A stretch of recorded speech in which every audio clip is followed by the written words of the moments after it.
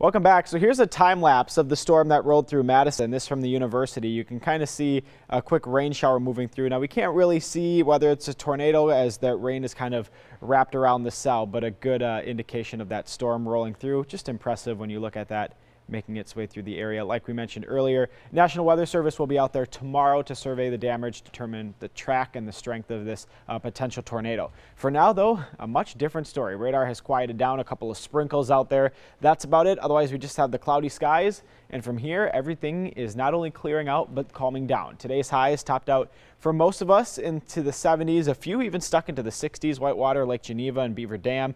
Milwaukee down to Kenosha, upper 70s, just a degree away from 80 in Kenosha. That's where we saw just a little bit of sunshine. No worries, we all see sunshine tomorrow. Temperatures right now, they cool down with the rain showers 50s. 59 from West Bend to Waukesha, 58 at Burlington. On the lakefront, a little bit warmer, still sitting into the lower 60s. So still a nice night tonight. Tomorrow morning with the added moisture, you might wake up to some fog, especially for our inland areas.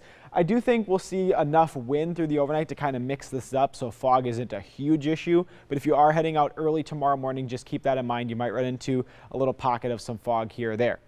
Here's future forecast through the overnight. Watch the clouds just erode into nothing. Still a pretty gusty wind, 10 to 20 miles an hour, and then they calm down heading into tomorrow morning. Just about 5 to 10 from the southwest, so a nice gentle breeze early on.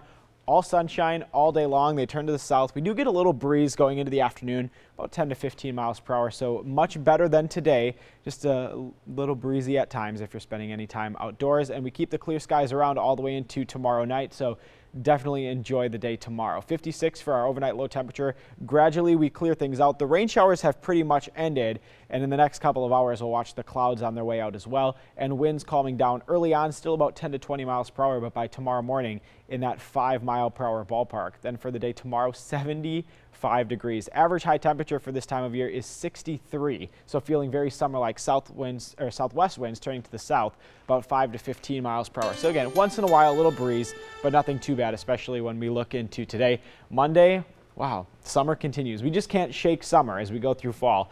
Uh, we do get a little fall stretch though. Tuesday and Wednesday, that's really our only cool down and those temperatures right near average. Maybe an isolated shower uh, Tuesday night into Wednesday. Very, very hit and miss. I wouldn't count on it. If you have outdoor plans, definitely do not cancel them.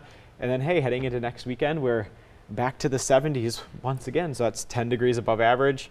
I will hang on to every last yeah, bit of summer. Me like I, too, you'll not find me complaining. I mean, this is maybe a silly question, but yeah. is is there any like science behind like will the winter now go longer or so basically it's gonna worse? it's gonna come down to the La Nina that's forming because that's what looks like it's gonna happen out into the ocean and we can look at you know where that where where that usually pans out. The problem with us is we're kind of right in the middle, so it can honestly shift either way when we look at what typically happens. So.